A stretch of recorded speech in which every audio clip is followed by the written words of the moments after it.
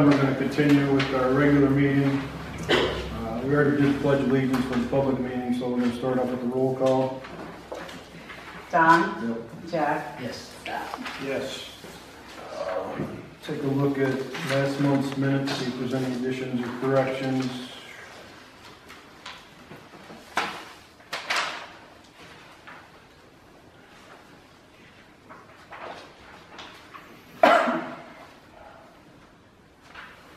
I Make a motion, we accept the minutes. Second. All in favor?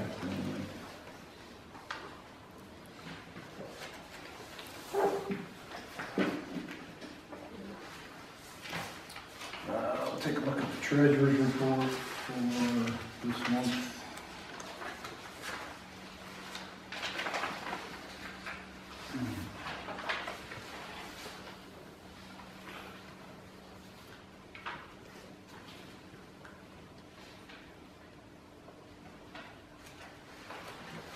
Make a motion, we accept the treasurer's report.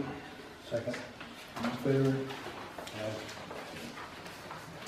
All right, this time, uh, we'll turn it over to Mr. Briechle.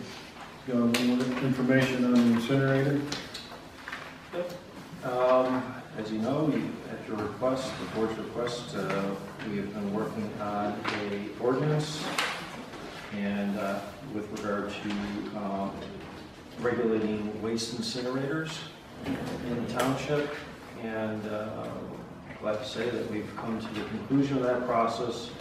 And I'd like to submit for the board's consideration the uh, ordinance um, Per the second-class township code, we'll have to have you authorize the advertisement of the ordinance and uh, to ensure that the public at large, beyond the Milford residents, taxpayers, have a chance to comment on it. Um, Schedule a public hearing that will take, I would suggest take place on June 12th. January. January, did I say June? Yeah, January, sorry, I'm thinking warm weather. Uh, January uh, 12th at 6 o'clock, right, Yes, is a recommended time. It just seems to fit within a bunch of things that are going on. So we would hold that meeting, hearing, excuse me, hearing. There'll be steno, there'll be a stenographer here taking down all the testimony.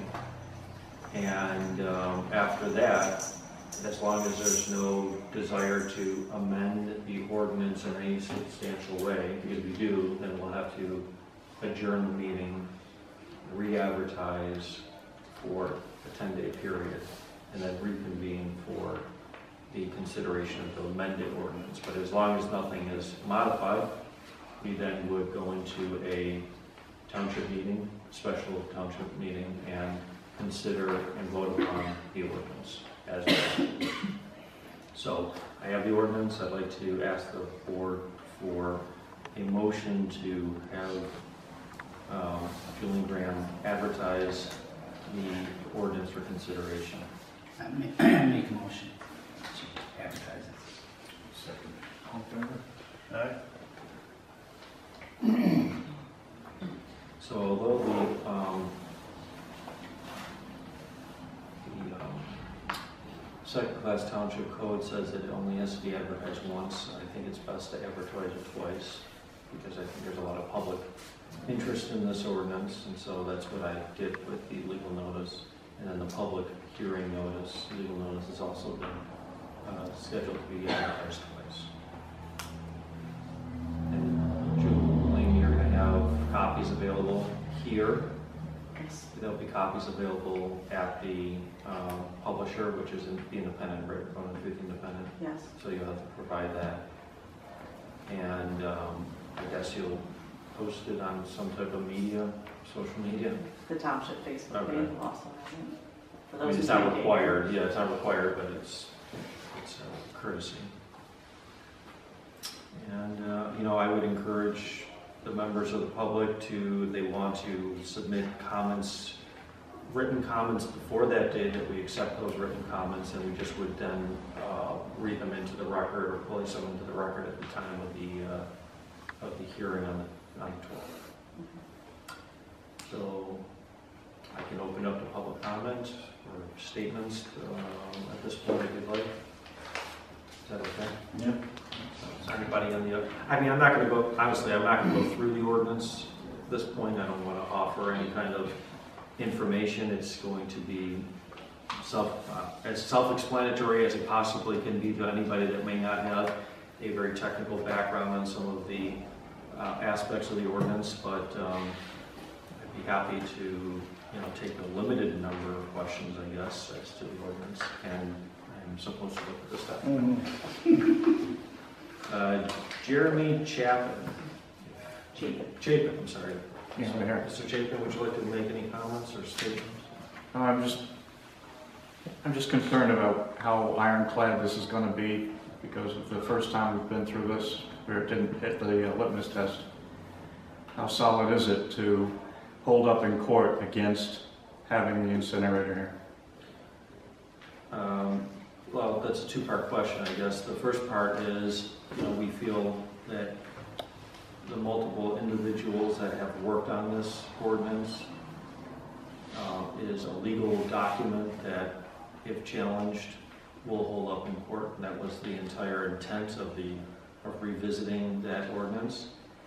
As I said multiple times over, this ordinance doesn't preclude the creation or the construction of an incinerator. It sets limits and regulations and establishes a way of monitoring um, what the incinerator plant would be putting out. And that's, if they meet those regulations, they can build, they can build a plant. Does it also cover other businesses in this type of field? It is a- specifically to waste incinerators. Okay, so we would have to go through. We would have to go through this whole process all over again for a different type of business that we might wanna come in that we didn't like or Well, would harm us? This, because of the nature of the incinerator, it is dealt with completely different than other um, industries. And so this is specifically to waste incinerator. So to answer your question, probably to some degree, you have to have a separate ordinance. Okay, thank you. I have a question. Sure. Uh, Not directly to that ordinance. I, I wrote a letter and I couldn't make the meeting. I wanted to get some feedback of how that uh, was accepted or rejected and the idea. Basically, I said, why don't we have a backup plan? You did see the letter I wrote. I remember it. Put it in the- it's in the And then it was, why does, why does our town have to accept garbage from out of district, from other counties, from other states? Could we not simply say, you can't bring trash in here to dispose of it in New Milford Township? Wouldn't that be a plain and simple way? uh, uh, would- maybe even more surefire, but if nothing else, a backup plan. Um, We discussed that with the environmental attorneys and um, the answer was probably not. It wasn't simple. It was potentially preempted. And it was another area of regulation that the township may not have the ability to engage in. So the answer is, And why don't they have the ability to do that? uh, because If somebody wants to come on my property and dump uh, garbage, I can tell them no. Can I not? Uh, Can the township say no to it? Uh, the township, like I said, it's a preempted area of the law, is my understanding, and that means that the federal government has taken control of the regulation of that industry. And as a result of that, the township, it would be limited, and I don't want to say how limited and what degree, because I'm not not anywhere well versed in that area, but I've posed the question, and it was um, addressed in that fashion. Hmm.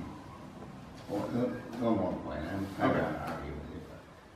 I understand we're a commonwealth, and that means that the power comes from the people up. I think that's the entire United Is that, States. is that basically correct? well, my understandings of the civics is that it is like that throughout the United States, that the people, we the people, are the, you know, the government works for us, if you will. But then the government says, no, you can't, you gotta accept that. Uh, Well, There there seems, to- I don't know if I that seems can to get- be a conflict to me. Yeah, well, I, and I can, and everyone's uh, entitled to that, uh, their opinion, I just can tell you what the law uh, states as best I can, and that um, within that broad context of what you just said, there's a lot of gray area. Yeah, yeah. So you're saying it could be unconstitutional, What can be? the law? No, Because, because well, of- could, if, if this, if some court says it's unconstitutional, sure. But that's what the court systems are there for. Right. To determine that. So the legislature puts it in, the executive signs it and enforces it, and the judicial branch, anal- the judicial branch analyzes, uh, analyzes it and determines whether or not it's constitutional. I'm not sure that you'll have an answer, but it might be a question to pose to um, the people who drafted the ordinance.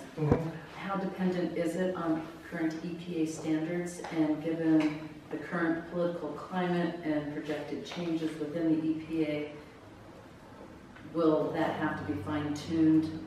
Granted that we'll, hopefully will turn very slowly within the EPA, but again, I'm asking how dependent is that on EPA standards and guidelines?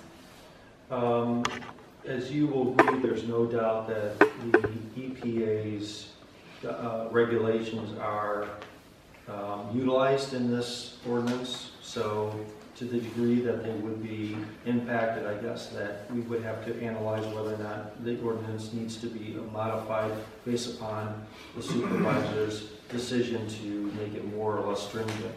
Um, I also note that the um, environmental group has uh, gone to great lengths to determine that certain limits and certain criteria are not only based on, on the EPA. We've gone, for example, to California and pulled some regulatory work out of California, which seems to be have one of the more stricter levels. And so Okay. uh, You'll notice that when you read the ordinance, that we've gone beyond just the federal government's um, regulations. And it's, in fact, just before I go on, it's um, a significant uh, level in terms of the risk assessment that needs to be taken. So just, and I won't go through significantly, but there's emission limits, and then there's monitoring of the ambient air, and there's regulations as to how much ambient air can be uh, uh, affected by this. There's a table in the back that sets forth the limitations, okay? But then there's also a um, risk assessment analysis that has to be undertaken. And the standard is, and I'll just read this, it's much more than this, but for example, cumulative total cancer risks associated with all air toxic emissions from the waste incinerator shall be less than one in one million for the most exposed individual for an entire 70-year lifetime. So my understanding is that is a significant um, standard to meet.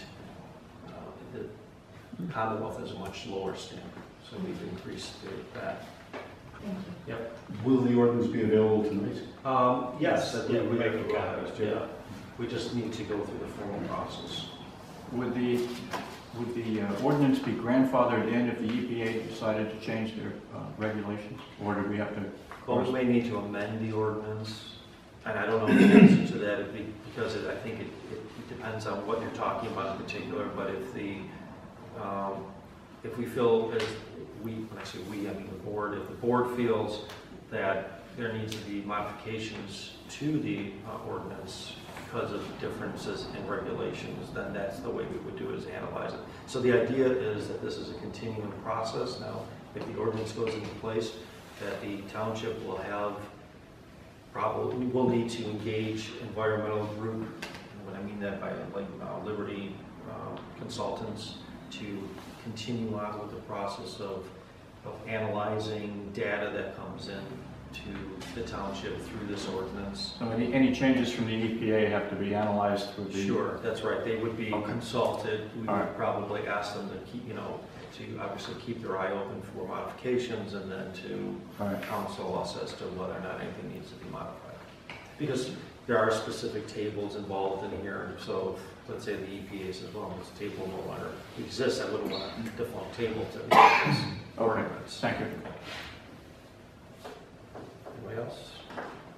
Uh, As a non-Milford Township resident, I would uh, just like to say I really, really appreciate all the work you guys have done, and uh, I commend you for, for taking on this uh, challenge and, and doing something. So just like to offer that as my comment. Thank you. I think we'll allow that. I think we'll allow that comment. Yeah. Take a bow, guys. Okay, so I guess that's all I need to do from this perspective. I need to, uh, I'm sorry, did you vote to advertise? That's what I need. Oh, we already yeah, they did, I'm Okay, sorry, sorry. Jack made a motion. Okay. Okay, so we're, uh, we're good. I- This is my copy, but you're gonna have. You will have one. Yes, Yeah. I'll get them in just a few moments. but- Are you advertising in the Independent or which one? The independent, yes. that's my, I think it actually goes into three. It goes in the independent, the weekender, and something else when we send it to the weekly group, we put it in all three. oh, okay. What about the transcript? Yeah, the transcript, the weekender, and the So it's, independent. it's two different papers, so. That's okay, I don't care, but that's typically you don't have to do one paper of general circulation in the area. One time. Just throw out that the transcript always covers you. Yeah. Mm-hmm, Thank There you go. there you go. Okay. You, Yes, but I think you also have the next item on. the Yeah, do we want to go to the next, uh, thing? Yep. Pentagon? Is Yeah, that what it's- might as. Um, Jules, I forgot the day that we met. Do you have any recollection? Was it the It was the eighth. the 8th of December? Yes. I'm sorry. I just- Okay, so um, Pentagon Gas is a company that is, has purchased a piece of property on 492 approximately a half a mile to a mile from 81. And they requested a meeting with the township, and at the town, at that meeting uh, was Jack Conroy, who represented, if you will, the township uh, board, Teresa White as the sewage enforcement officer, Bill Shivo as the codes, en- the building codes enforcement officer, and Julian Graham and myself.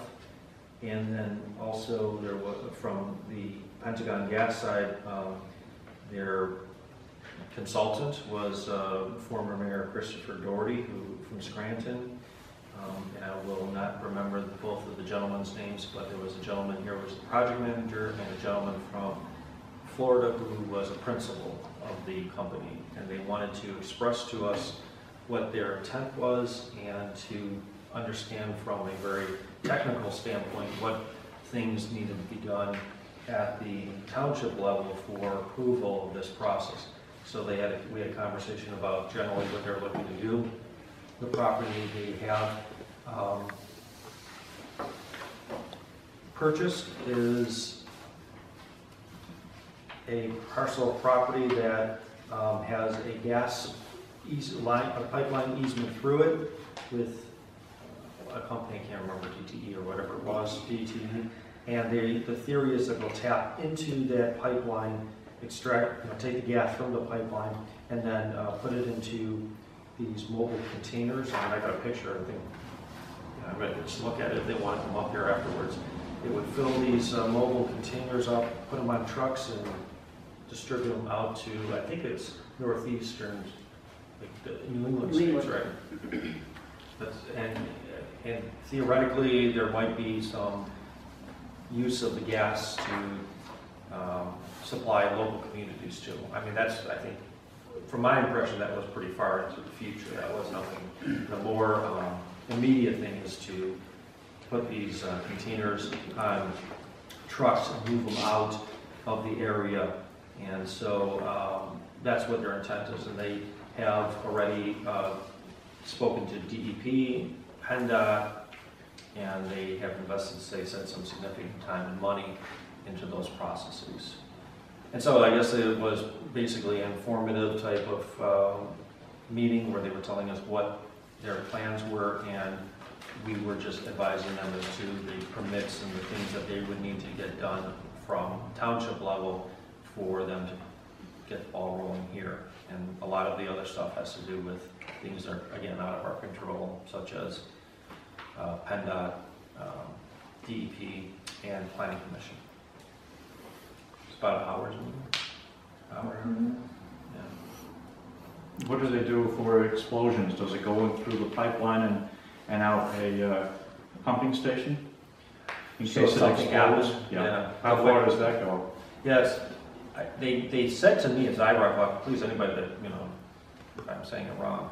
Um, my understanding was that the system shut down the entire process, that there would be an explosion because if there was a leak or some kind of malfunction, then theoretically there was this Emergency. emergency system. Mhm. Shut Um, the whole system down. That's what they represented to us.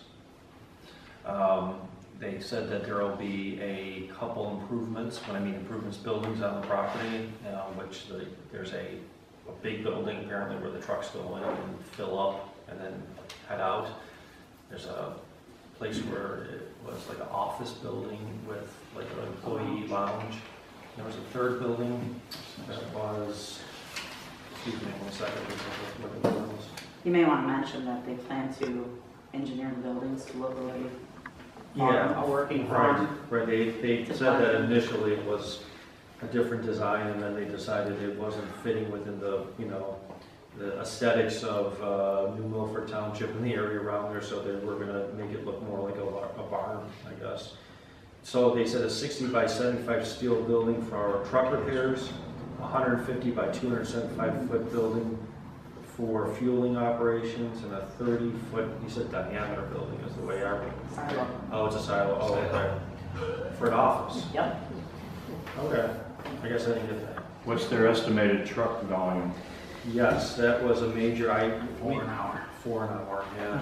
And- And is it 24 hours a day? Yeah, from what I understood. All, it, there are peak times of the year and non-peak times. I think this time is a peak time. November to April is peak. Right. So this, this air, air ordinance, air quality ordinance is not going to go for trucks either? No, that's, Not with that, That's not with that kind of volume? Or no, that's just not that type of ordinance. Right. And, um, again, that starts getting into inter- interstate com, uh, interstate commerce. Right, which we can't And touch. that's another issue that, again, I'm not saying you can't regulate to some degree. I just believe it is heavily regulated. I think it's time to move out to the country. to tell you the truth. Travis, you're all gonna Yep. Yes, I agree. Was that, okay. That's what he Is it seven days a week? Yeah. We did that. And how big are the trucks? Yeah. You can look at it, it has something in here about that. The trucks are natural gas. The trucks are natural gas trucks. Are they tract, oh, yeah? are they tractor trailers? Yeah, I would believe so. Yeah, they- I think they look something like this. And are they compressing the gas at high pressures?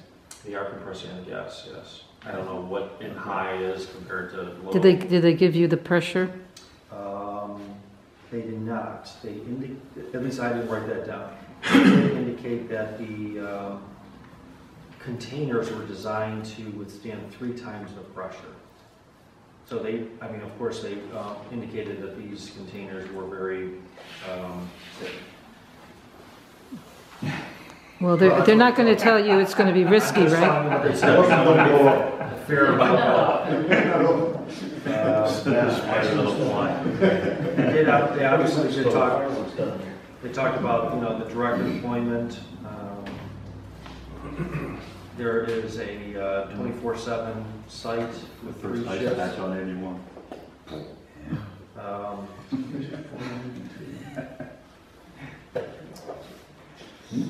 They said there's no um, compressed natural gas station within, what, 80 miles from here, I guess? Are they going to? What do you mean, no compressed gas station? They're building one right now in Forest Lake. That's true. So that's within what, about 30, 40 miles? Well, that's true, but it's not now, I guess, but that was what they said, so I'm just sharing that Are information. they going to give us new fire trucks to battle all this? uh, We did, I, I think that it would be fair to say that I did mention that, that they should contact EM, uh, emergency services and have a conversation with Ken and with the county. um, I gave them the fire company's fire contact. company. That's a nice donation for the fire trucks. Hmm. Well, whether they do that, that's their decision, I guess. I met with the business, the uh, development guy, and we exchanged business cards, and we'll get back in touch. But basically what this company does is they're, they're supplying natural gas to places that don't have pipelines or don't yet have pipelines. That's their business model.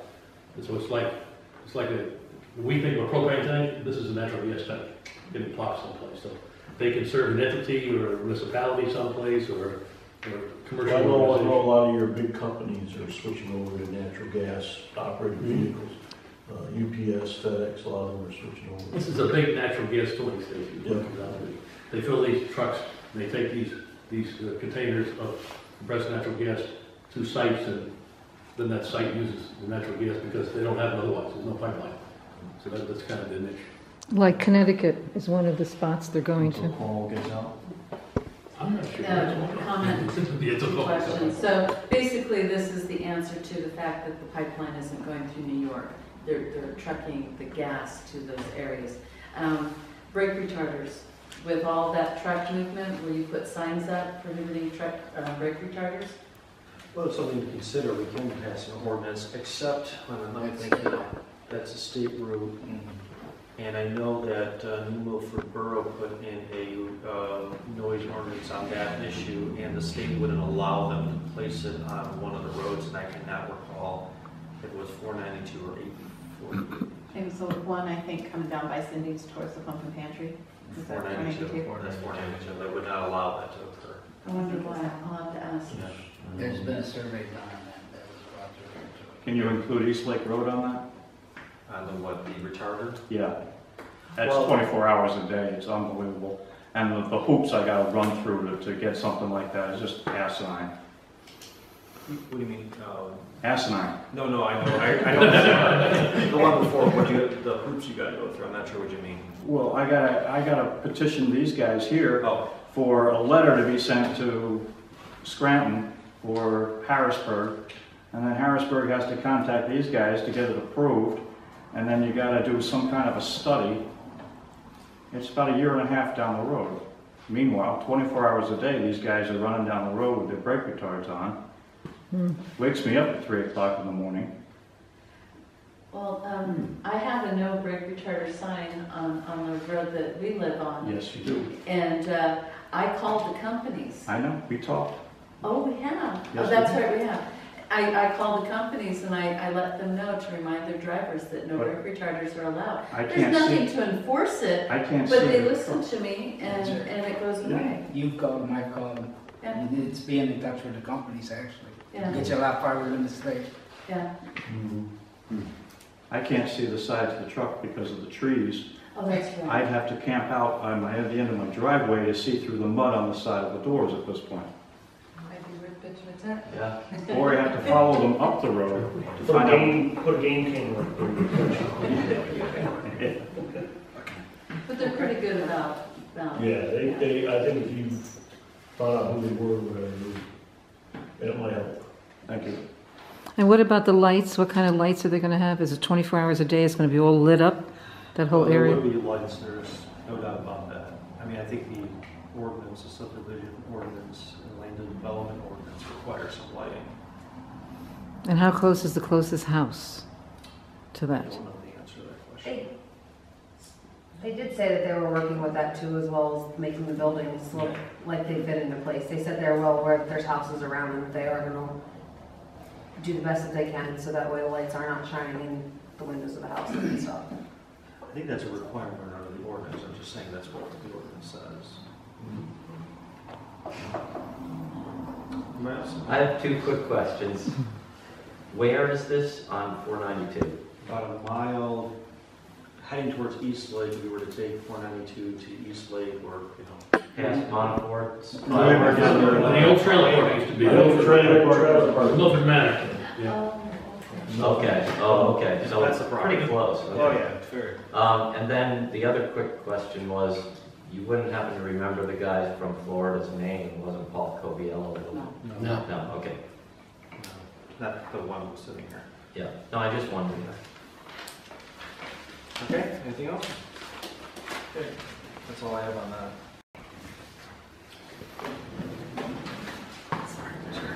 Can we have a copy of the ordinance so I can take off?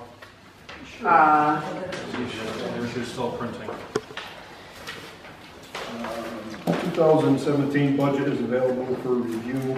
Uh, Consider for adoption at the January 3rd reorganizational meeting. they're attached to your agendas.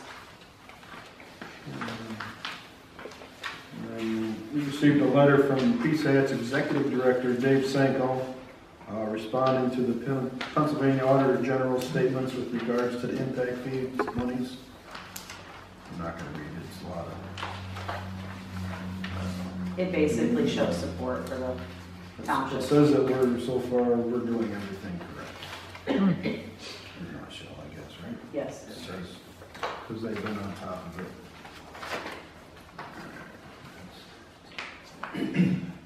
Oh, boy. We have a lot of southwest activity. Um, let's see. Got a notice of intent for consumptive use on the Bianco pad, uh, the Eastman pad, and then they're also applying for a major modification coverage under uh, E ESCGP two for the following pads. uh, Warner, Roman, Kramer, Conklin, East, TNT one, and the other Conklin pads. Is that what all this is? That's what all of that is.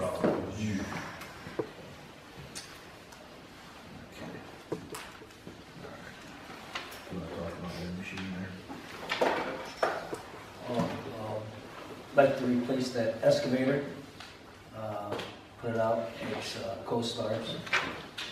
Just, uh, it's three years old, I'd like to update it. Gibson Township would like to purchase our old machine. And, uh, We'd buy basically the same machine, just lower grade.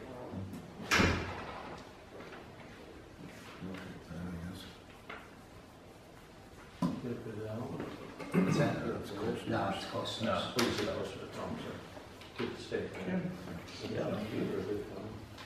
Can you grab one of the sheets from the table and talk about that?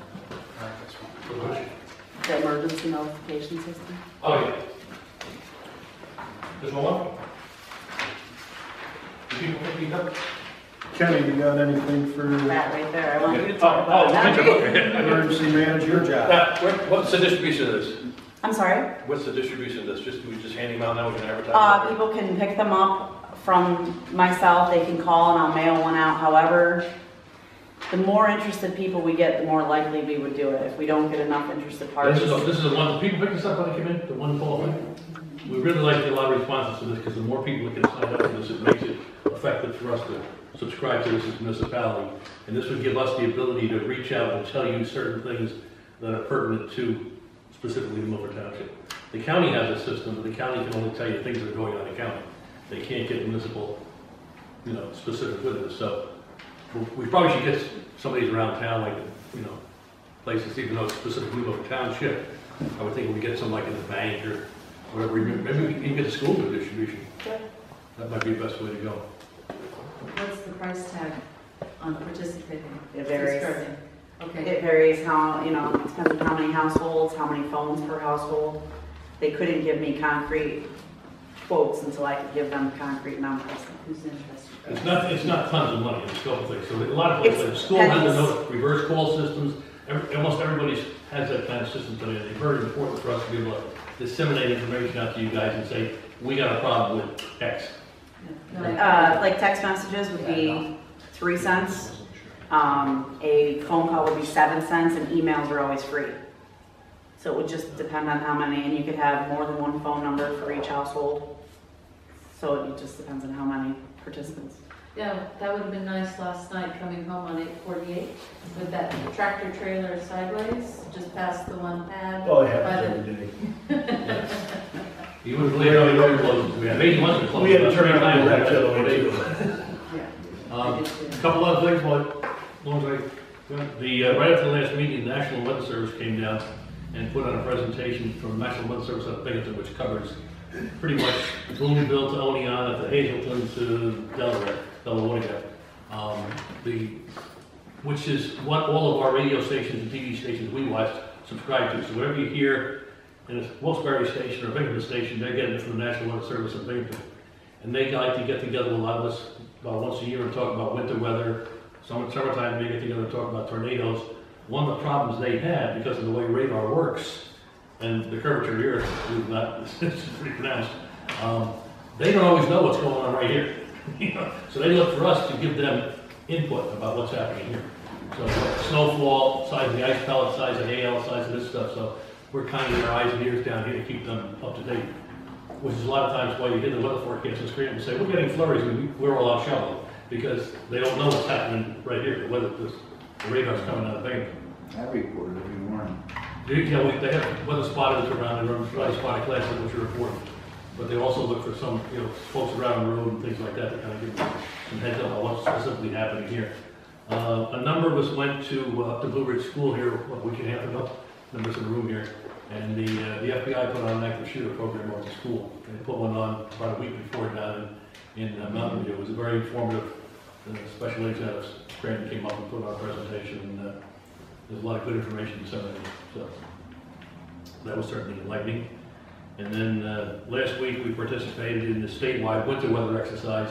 School systems, fire departments, emergency managers, people like that get together over at the County Emergency Operations Center. We talk about communications in the event of, what do you do if you gotta close a road? You know, how, how does, does the information get to school buses? What do you have to do if you shelter in place?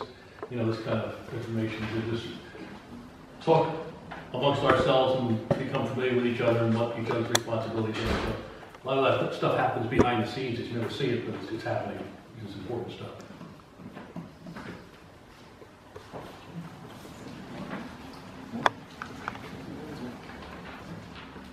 Okay, this time we'll pay the bills and adjourn the meeting. Thank you.